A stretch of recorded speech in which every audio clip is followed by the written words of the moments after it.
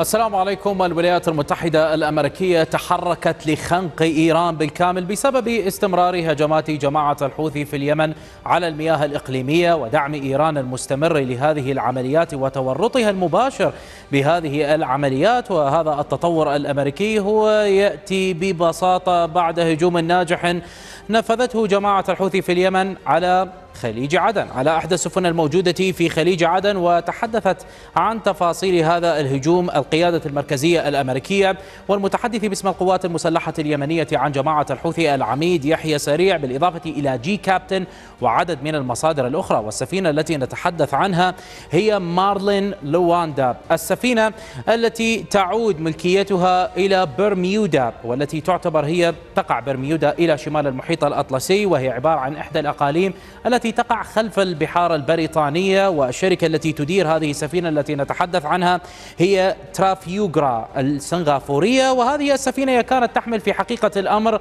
شحنة تجارية من المواد الكيميائية قادمة من شركة نافتا. ونتحدث هنا عن خليط هيدروجيني أو خليط من الهيدروجين السائل الشديد الاشتعال الذي كانت تحمله هذه السفينة. وبالتالي هذه المسألة استغلتها جماعة الحوثي في عملية الاستهداف بشكل واضح. جماعة الحوثي ببساطة قامت بهذا الهجوم على مستويين. في بادئ الأمر في الثمانية وأربعين ساعة الماضية قاموا بإطلاق صاروخ باليستي مضاد للسفن من مناطق سيطرتهم باتجاه USS Carney المدمرة الأمريكية المتمركزة في خليج عدن. ولكن طبعا بالنسبة ل USS Carney تمكنت من تدمير هذا الصاروخ. وبعد ست ساعات تقريبا أو أكثر بقليل جاءت السفينة التي نتحدث عنها. Marlin Luanda قادمة من البحر الأحمر عبر مضيق باب المندب لتدخل إلى خليج عدن. وهنا جاء الهجوم من قبل جماعة الحوثي بصاروخ باليستي آخر مضاد للسفن ليحقق هذا الهجوم وليتمكن هذا الصاروخ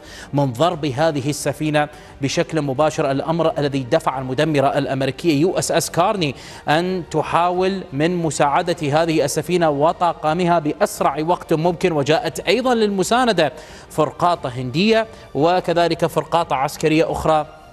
فرنسية لإنقاذ هذه السفينة والانفجار كان كبيرا للغاية بسبب المواد الكيميائية وطبيعتها التي تحملها هذه السفينة. النار اشتعلت بهذه السفينة لمدة 18 ساعة قتال كبير ضد النيران التي اشتعلت بهذه السفينة. وكانت هذه بعض الصور للنار التي اشتعلت في السفينة. ولاحظ كيف أن النار لم تكن عادية أبدا وكان هنالك استمرار للاشتعال رغم محاولات الإنقاذ وإطفاء هذه النيران. مواد كيميائية. نتحدث عن خليط الهيدروجين السائل طبعا أو خليط من الهيدروجين السائل شديد الانفجار. وبعد ذلك تمكنوا من إطفاء النار والفرقاطة الهندية. لعبت دورا كبيرا وطاقمها وطاقمها في عملية إطفاء طبعا النار في هذه السفينة كما تلاحظون. وشركة ترافيوغرا التي تحدثنا عنها السنغافورية التي تدير حركة هذه السفينة بعد هذه الحادثة بدأت تعيد تقييم حركتها في البحر الأحمر. وهذا ما يرشح أن هذه الشركة قد تبتعد بأي لحظة وتعلن فجأة بأنها بشكل مؤقت. أو حتى إلى إشعار آخر. ستنقل عملية تحركاتها من البحر الأحمر وتبدأ بالتحرك عبر رأس الرجاء الصالح. وهنالك تورط إيراني مباشر بحسب التوقعات الغربية والأوساط الغربية تشير بأن إيران وتحديدا هذه السفينة سفينة بهشاد هي التي لعبت دورا مباشرا في استهداف مارلين لواندا التي نتحدث عنها اليوم.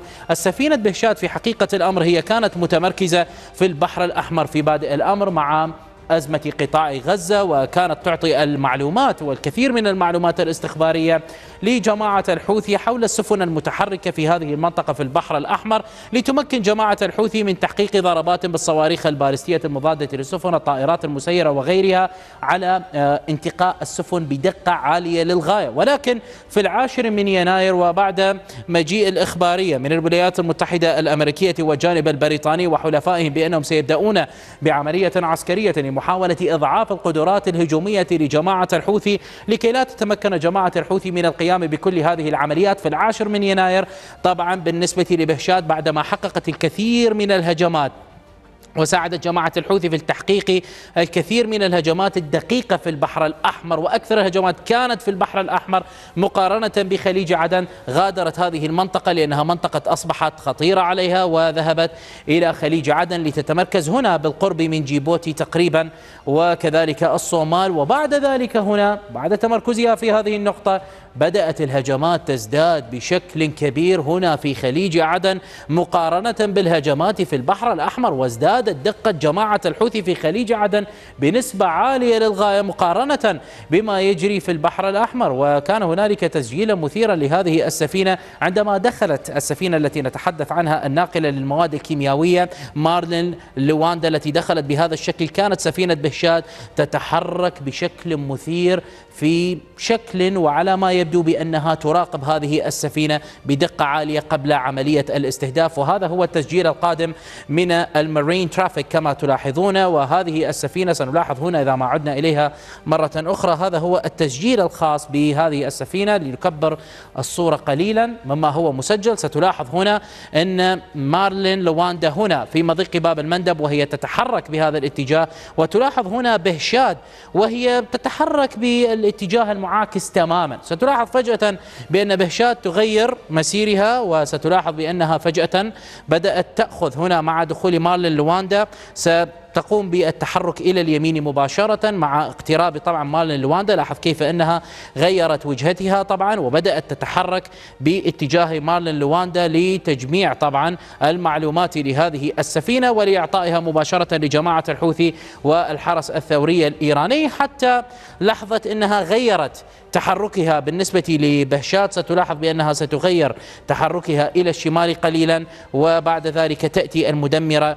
الهندية أو الفرقاطة الهندية لتحاول مساعدة مارلين لواندا التي ضربت في هذه اللحظات التي نتحدث عنها وبالتالي أنهت المهمة بدقة عالية بالنسبة لهذه السفينة لتتمكن من تحقيق إصابة واضحة. وهنا طبعا التورط هذا في أكثر من مصدر في أكثر من تصريح أمريكي بأن إيران متورطة في المعلومات الاستخبارية التي تسلمها لجماعة الحوثي ومن هم في الحرس الثورية الإيرانية الذين يقودون ويشرفون على هذه العمليات لكي يتمكنوا بدقة من إصابة هذه السفن إلا أن المصادر الآن الغربية مثل الديلي إكسبرس البريطانية وضحت بأن هنالك استبعاد تام لاستهداف بهشاد لأنهم إن استهدفوا بهشاد فهذه سفينة إيرانية مهمة بالنسبة لإيران وهذا يعني بأننا سنكون أمام تصعيد خطير مع كل الظروف التي تجري في قطاع غزة وإسرائيل وحزب الله اللبناني والفصائل الموجودة في المنطقة.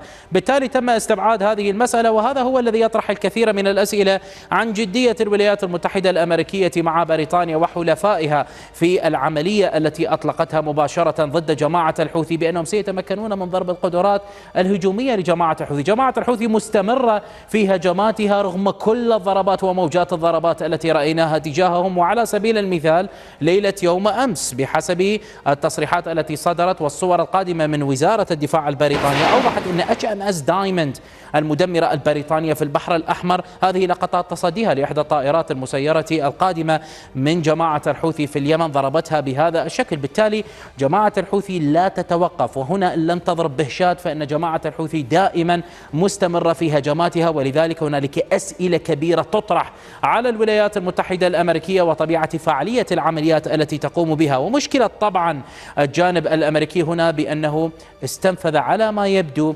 الخيارات الدبلوماسية. ففي اليومين الماضيين كان هنالك لقاء مهما بين مستشار الأمن القومي الأمريكي جيك سوليفان ووانغ وزير الخارجية الصيني في بانكوك. في تايلاند. تحدثت عن هذه المسألة Politico وأكدت اجتماع لمدة يومين الجمعة الماضية والسبت الماضي أي يوم أمس ولم يصلوا إلى طريق الولايات المتحدة. حاولت إقناع الصين أن تضغط على إيران. من أجل أن تذهب إيران لتقنع جماعة الحوثي بالتوقف عن هذه الهجمات ولكن تم تأكيد بأن هذه المحادثات قد فشلت فشلا ذريعا. لا بل أن الول ستريت جورنال أكدت بأن الصين تحدثت في حقيقة الأمر أو إيران أبلغت الصين. بعد حديث الصين مع إيران حول هذه المسألة. طلبوا منهم توقيف هذه الهجمات التي تقودها جماعة الحوثي وإيران قالت لبكين طهران أبلغت بكين ببساطة بأننا لا علاقة لنا بهذه الجماعة جماعة الحوثي. نحن لسنا مسؤولين عن الهجمات التي يقومون بها. بالتالي الظروف أصبحت معقدة للغاية بالنسبة للعلاقة مع الصين وظروف الصين ودورها في هذه المسألة.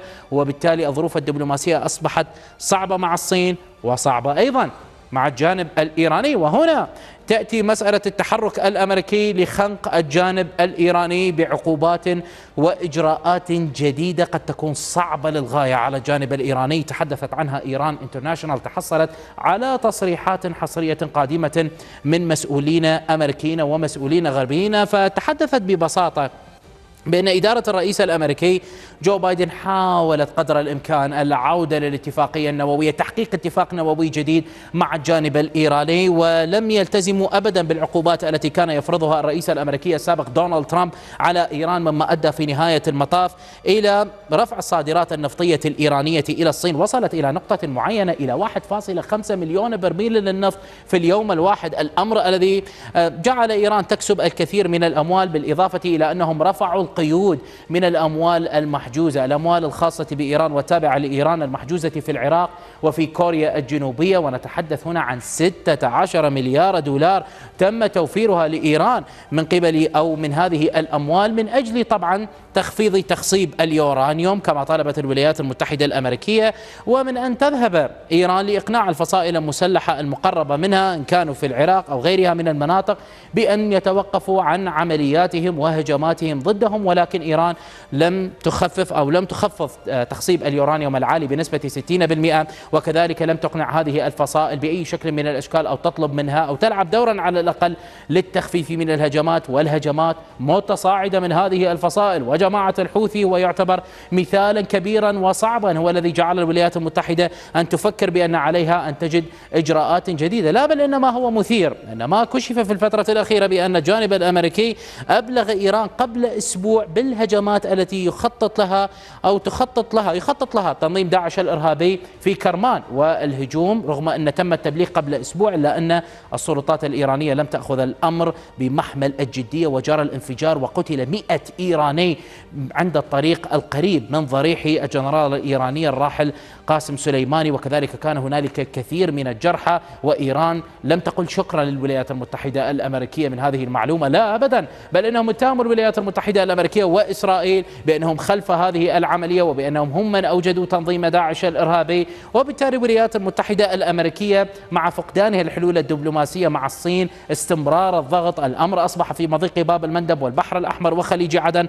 وصلت ببساطة الولايات المتحدة الآن للتفكير بحسب ما نتحدث عنه من مصدر وهو إيران انترناشونال بأنهم بدأوا يدرسون إعادة إيران إلى العقوبات والوضع الذي كان عليه مع إيران قبل عام 2015 أي قبل ما قبل تحقيق أي اتفاق نووي مع الجانب الإيراني. وهذا يعني ببساطة العقوبات لن تكون قادمة فقط من الولايات المتحدة الأمريكية لا أبدا بل إن بريطانيا وكذلك دول الاتحاد الأوروبي والدول الأوروبية ستكون مشتركة بهذه العقوبات. ويعني بأن إيران ستجد مشكلة ليس في الدولار الأمريكي فقط وإنما كذلك باليورو وكذلك في الجنيه الاسترليني وأيضا أن ستكون هنالك عقوبات على الطرف الثالث. أي بنك من الطرف الثالث من البنوك الموجودة من دول أخرى ستكون أيضا غير قادرة على التعامل مع إيران بعد ذلك. وهذا يعني ببساطة ضغط هائل للغاية سيعني بأن هنالك انفجارا قادما في الداخل الإيراني من تظاهرات بسبب الظروف الصعبة للغاية التي ستعانيها إيران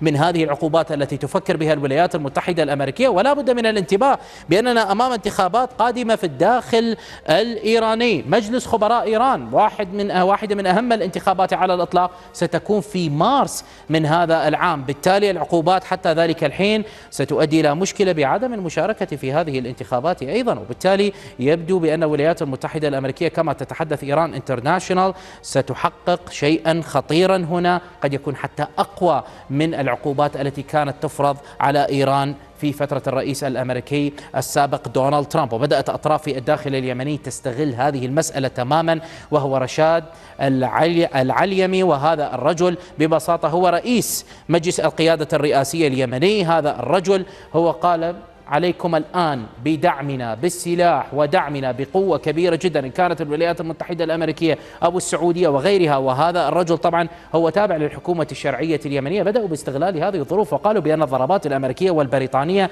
لم تخفف أبدا ولن تفعل شيئا لقدرات جماعة الحوثي. عليكم بدعمنا وسنقوم بالعمل المطلوب ونحن من سيقوم بإضعاف قدرات جماعة الحوثي الهجومية وغيرها. ويجب أن ننتبه أن الحكومة الشرعية هنا باللون الأحمر تمتلك سيطرة واضحة جدا. هنا المجلس الانتقالي الجنوبي باللون الأزرق كما تلاحظون. الحكومة الشرعية اليمنية إنما تم دعمها آه، ويتم دعمها بشكل مباشر. فهذا يعني بأنها قد تندفع مباشرة إلى صنعاء تهدد جماعة الحوثي بشكل كبير. تفتح عليها جبهة واسعة وكذلك لديهم سيطرة هنا في مضيق باب المندب ولديهم آه، سيطرة أيضا هنا بهذا الاتجاه باتجاه حجة يعني أيضا هم يهددون السواحل الموجودة بهذه المنطقة. بالتالي الحكومة الشرعية الآن بدأت تستغل هذا الموقف مما يرشح أن الأمور قد تتصاعد بشكل خطير في اليمن في ظل أن الحرب في قطاع غزة أيضا لا تعرف طريقا للتوقف مستمرة ويبدو بأنها متجهة إلى هدنة لشهر أو لشهرين مع صعوبة في التقدم الإسرائيلي مع قتال كبير ومقاومة كبيرة من الفصائل الفلسطينية تحديدا في خان يونس. وتحدثت ال Wall Street Journal أيضا بأن 80% من الأنفاق في خان يونس لا زالت سليمة وحتى مضخات المياه لم تفعل الكثير من الضرر أو لم تحقق الكثير من الضرر لهذه الأنفاق إن كانت في الجنوب أو إن كانت حتى في شمال قطاع غزة.